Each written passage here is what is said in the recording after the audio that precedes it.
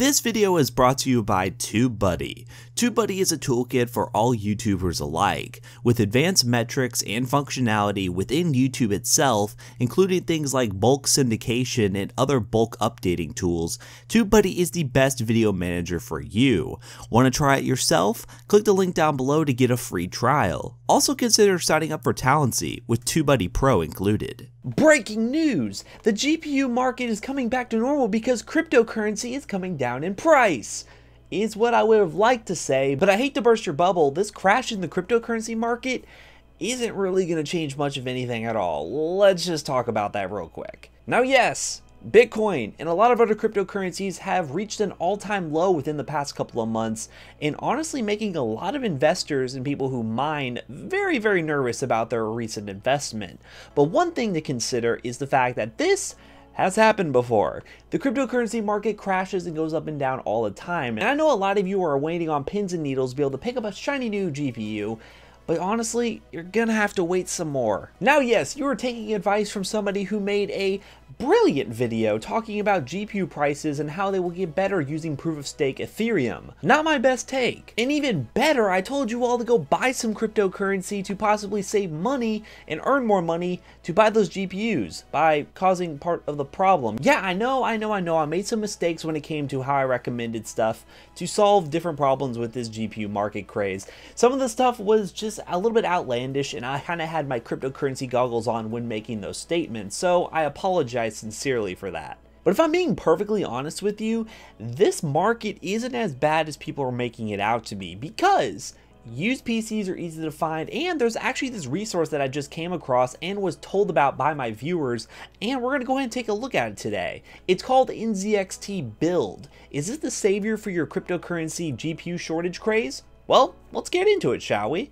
Now this is NZXT Build or BLD. When you are on NZXT's website, they can actually customize a PC based on your gaming needs. Now this in its own is a really cool feature because you can actually get a PC customized to whatever game you want to play. I find this very important for people out there who are just trying to get into PC gaming in the first place because I read my comment section guys about you asking can it run this game, can it run that game, can it run this game, and there are a lot of games that I try to benchmark but can't get to test because well, there's only so much time in a day for a guy like me with my kind of schedule to benchmark a PC that we put together. So the solution to this is, well, NZXT Build. So as you can see right here, you get a choice between a couple of titles. We got Battlefield 1, Battlefield 4, Counter-Strike, Diablo, Dota 2, Fallout 4, Fortnite, Grand Theft Auto 5, and you can see the rest of them right here. So let's hit Fortnite, the most popular game right now, and a game that's honestly absorbing a majority of my life, and why I haven't been focusing too much on creating content.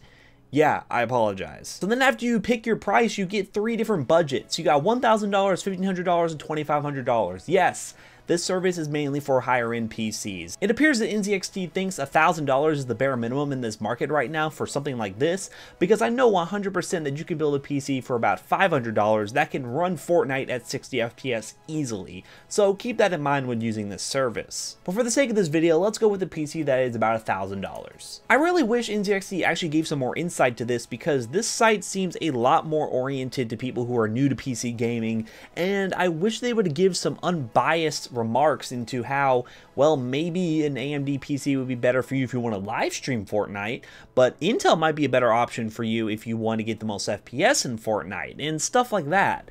But for this sake, we're going to go AMD because you know my opinion on Ryzen, best value for the money out there. So what it put together for me right here was an NZXT S340 with an AMD Ryzen 5 1400 and a GTX 1060 6GB, 6GB with 8GB of RAM in dual channel at 2666 megahertz. Really cool that they went with a higher clock speed memory here, so they know what Ryzen requires for the best possible FPS. And also a 1TB hard drive. Something about this pricing isn't that good, but we're going to go ahead and customize it a little bit and see what we can go with here. So this PC is VR ready, and we can go through here and decide what we want to change. So we got the motherboard that we can make more expensive, the GPU which we can make more expensive. It seems like a 1060 is as cheap as it goes, so if you're looking for a higher end build, this would probably be the resource for you as I mentioned before, but this is definitely true after looking at this extra option list. So if you're under CPU, it looks like the lowest they're going to go is a Ryzen 5 1400.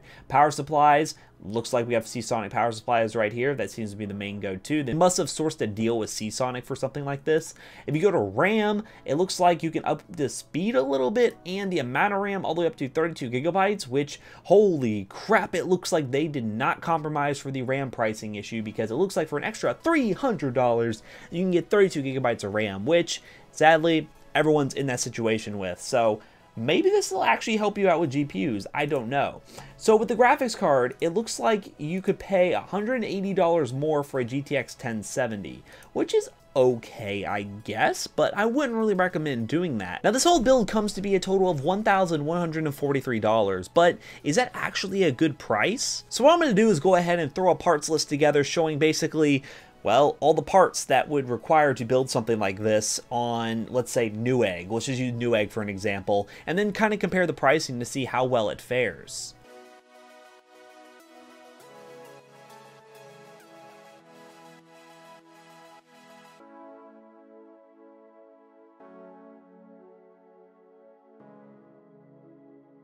Alright, so I slapped together my PC using Newegg, and well, it's actually quite impressive what NZXT is doing over here. So my comparable PC over here with pretty much exactly the same specs, but with one compromise, the RAM is actually slightly faster over here at 2800 megahertz, but it is two 4GB sticks for a total of 8GB of RAM, and this whole system over here on Newegg is about $1,015 without taxes and shipping. So with taxes and shipping involved, we're probably looking at a little bit more than that. So it looks like the grand total is about $1,025. And over here on build, we're getting a total of $1,143, which is a difference of Holy crap, quick maths! $118. Now, the real question is, is it worth $118? And that's something you have to ask yourself because for a new PC builder, maybe having somebody put a PC together for you for $118 is well worth your money.